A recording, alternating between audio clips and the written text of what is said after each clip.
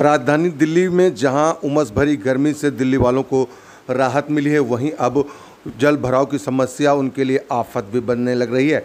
जी हाँ सुबह से ही हो रही बारिश का असर अब सड़कों पर देखने को मिल रहा है। कई जगहों पर जो जल भराव की तस्वीरें हैं, वो देखने को मिले हैं। आपको बता दें कि गोविंदपुरी के रविदास मार्ग पर जो है जल भराव हो रहा है तो वहीं आपको बता दें कि दिल्ली के बीआरटी पर अब जो ट्रैफ़िक है उस पर ब्रेक लगता जा रहा है, क्योंकि लगातार जो बारिश है, वो हो रही है। पिछले कई दिनों से दिल्ली वालों को उमस भरी गर्मी का सामना करना पड़ रहा था, लेकिन आपको बता दें कि मंगलवार की सुबह से हो रही बारिश का असर अब दिख रहा है। जहाँ एक तरफ़ तापमान में गिरावट दर्ज करी गई है, वहीं जल भराव की जो तस्वीरें हैं, वो भी सामने आने लग रही हैं। तस्वीरें ये बीआरटी की हैं, जहाँ आप देख सकते हैं किस तरीके से जो ट्रैफ़िक है, उस पर असर पड़ रहा है, क्योंकि दोपहिया चालक जो हैं, दोपहिया वाहन चालक जो हैं, वो बारिश से बचने के लिए जगह जगह पर अपनी गाड़ियों को खड़ा किए हुए हैं, जिसकी वजह से अब गाड़ी चालक, जो बड़ी गाड़ी चलाने वाले लोग हैं, उनको दिक्कतों का सामना करना पड़ रहा है।